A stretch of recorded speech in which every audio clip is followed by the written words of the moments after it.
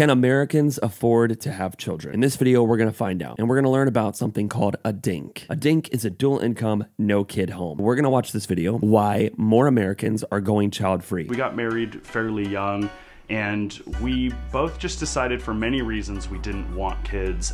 And then at some point, we heard the acronym DINK, and I think just really fell in love with it. There are more Americans that are deciding not to have children and it's purposeful. Nothing wrong with deciding not to have kids. Also, I'll start off there. I do think they look pretty young. It's it's when I was like 22, I was saying that I didn't want kids either. That changed when I was 28, and now I have a 2-year-old. To the rise of a new type of household, more commonly referred to as DINKs. dual income, no kids. Uh. Oh yeah, dual income, no kids. That's perfect for us. That's absolutely right. children are the death of net worth. Yeah, no, children are the death of net worth. But at the same time, what is more important? children are money. If you're living your life for money, yeah, don't have kids. You're going to have a sad, empty life. I mean, not that you need kids to have a full life, but if your life is only revolved around money, it's going to be sad and empty. Money will not will not make you happy. In 2022 is around 43% of households, and that's about a 7% increase from a decade previously. In 2022, 43% of Americans surveyed said they'd want to get married, mm-hmm. but just a little more than a quarter said they were sure about wanting. I'm honestly surprised that 43% of people said they want to get married. That seems like people don't want to do that anymore either. Do you want to have a child in the future? 28%, only 28% of people said yes. When did they survey these people? Because if they surveyed young people, um, I didn't say I wanted kids until I was like 27. So I probably would have said no as well or not sure. The term DINK is becoming more prominent now because of financial challenges and they see children as just another financial challenge that maybe they they don't want to take on. Yeah, children are a financial challenge, 100%, but it's totally worth it. So what's it like to live with a dual income and no children? And will it be the future of American households? It it can't be the future of American households because if every household went to DINK there would be no more households after one generation. Think that through. You need kids for the country to continue being a country. According to a 2023 survey of DINKs, finance played a major role in their decision to not have children. Absolutely. Man, I feel like I'm stopping this video all the time. Of course, finance played uh, a role. People are broke. Student loans are crazy. The inflation is insane. You can hardly afford groceries. I could see if you don't have children, the fear of adding a kid to that mix would be terrifying. More than a quarter of respondents said they simply aren't able to financially yeah. support a child at the moment. Not surprised. When we advise clients about having children, we honestly don't even give them the full real details and the real numbers. It's one of those things, if you actually see the math of it all, it might make you decide to not have children. When we advise clients to have a kid, we lie to them so that they do it and regret it later. Costs the family an estimated $310,605 to raise a child born in 2015 to age 18 adjusted for higher future. Yeah, that's a stupid number. That's dumb. I heard that figure was 350 or 450 or even I've even heard people say it was 600,000 to the age of 18 for a child. What parent is going to have a child and then be like, "You know what we should do for the next 18 years? Count every dollar we spend on this kid and see how it affected our net worth." Negatively. It's kind of a weird thing to see. And also, what if my kid becomes like a multimillionaire? Well, then I just good investment, you know, as long as he doesn't hate me.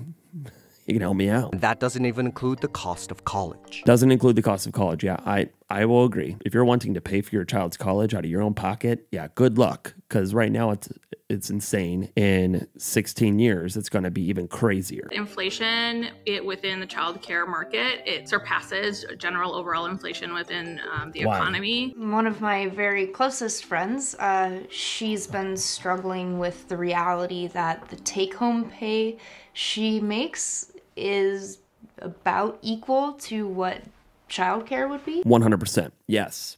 Good childcare. That's one of the reasons why my wife is a stay at home mom. It's also because she really wanted to be a stay at home mom, as I wanted her to as well. We sat down and did the math, and it's like her salary was literally the cost of what good childcare would be. And why would I pay someone I don't know to raise my child when I could have my most intimate friend and partner raise my child?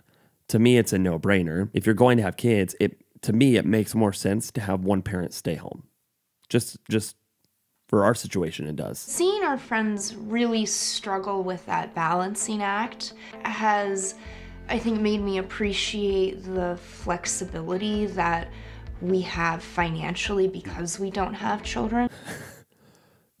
I wonder what their friends think when they watch this. They're like, dude, we're the reason they're dinks. They saw our kids and they don't wanna they don't wanna have what we have. Dinks can also fully reap the benefits of combining their finances. to look at both of our incomes coming in and see how we're able to handle all of that because we don't have extra finances with a child. Okay. Yeah. Yeah. Yeah. If you only focus on money, having a child makes no sense. None. There's so much more to life than just having money. At some point, when is it enough money? When is it enough things? When do we as Americans say we don't need all this crap? Like you don't need two cars that each have a thousand dollar car payment. You don't need that. You don't need a 4,000 square foot home for a family of four. You don't need that. You want those things. There are things that people desperately want a crap load of money for and you don't you don't need it you want it partially it's social media we look online and we see like well this couple at my age has the same thing. I feel like i can't. If we have kids we could never afford to do three vacations a year. No but you get so many more rich experiences on top of that. Like having a child every day is amazing and beautiful when you have a family. And for me my my most valuable commodity is my time and my relationships. Money is not i don't even care. I don't care. I only want to use money so that I can spend more time with my family. Money isn't the only expense that Dinks can save on. The free time is actually one of the biggest things for me. So we built me a little office slash I have a kid and I have free time. It's called wake up earlier than your kid, maximize their nap schedule, and stay up later than your kid. Now, if you want to live like a college student the rest of your life, then yeah, don't have kids. Not having children has given us the freedom to pursue other things. Yeah. Remodeling our home. I remodeled a home with a child. I know people who do it all the time. I am a beekeeper. I have a buddy who's a beekeeper. He's got four kids and they have a huge property and they do a lot of different things. They have the most hobbies I've ever seen. I'm really handy and I like doing stuff around the house. Cool. Love that. I wouldn't have the time to just do that after work if I feel like it, if I had, you know, a child to care for. You would. I mean, dude, I run a whole music business on top of working a full time job, on top of doing a YouTube channel. You have time. You bring your child alongside that. Like when I have to work on music, a lot of times I'll bring my son in. I'll show him my songs. When I'm changing my guitar strings, I'll bring my son in. My record player back there, my two year old, six months ago, could literally change a record out. You have time.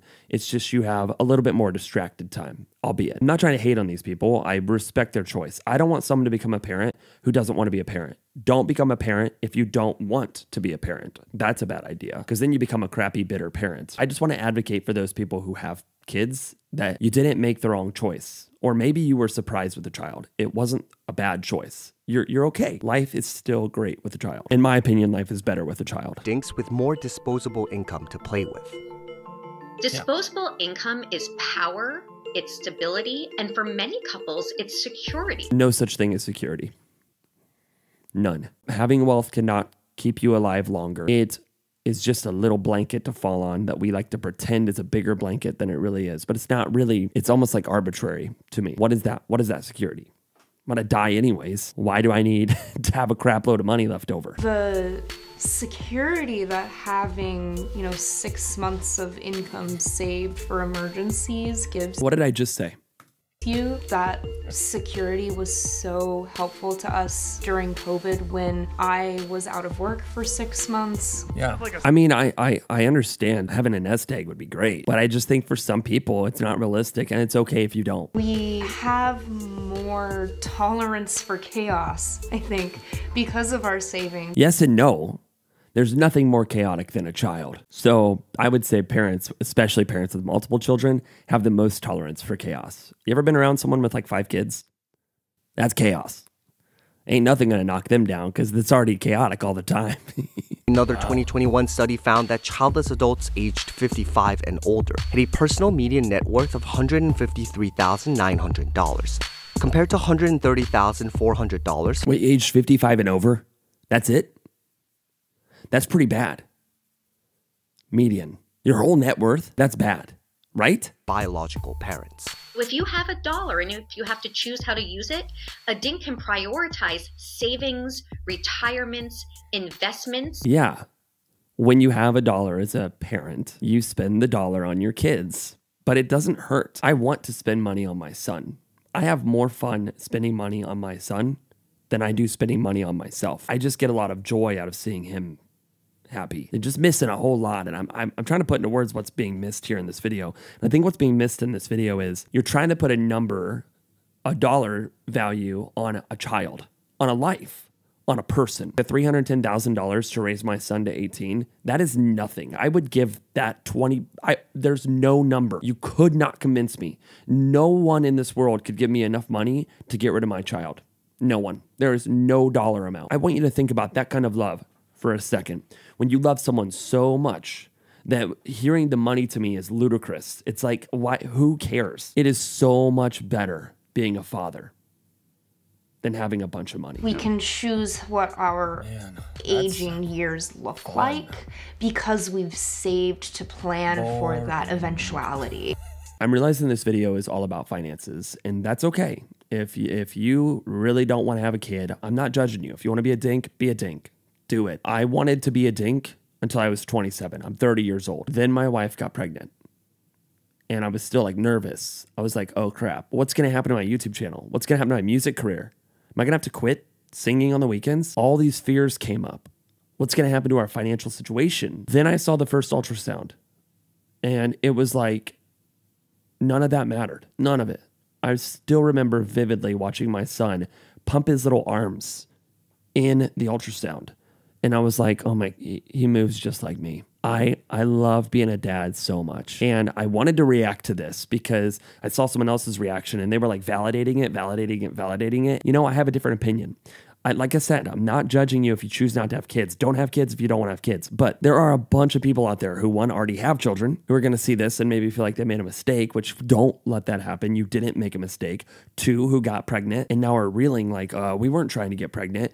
It's not a mistake. The child, the child is important and, and meant to be born. And I think there's things that like we're missing. Like, like what if Martin Luther King Jr.'s parents were dinks? Then we wouldn't have him. Think of the most influential people on the planet. Their parents were nobodies, most of them. And I'm okay if I'm a nobody. And I'm okay if my son's a nobody. I think being a parent is the greatest blessing. And I highly encourage you to do it if you are a married couple in a healthy situation. If you are not and you're in horrible financial distress, then yeah, figure out your life first or try to. But if you accidentally get pregnant, it's okay. You're going to be okay. You'll figure it out. Sometimes you got to live day by day. That builds character. Sometimes you you've got to make ends meet. Okay, I was broke. We were broke when we got married. Our son has club feet, so he's maxed out the deductible on the hospital bills every single year. And I, I don't even care. You figure things out as you go. You don't need to be just rolling in cash right away. It's not real security. It is a false sense of security, but it's not real security. I don't want this video to drag on too long, so I'll stop it there. Thank you guys for watching.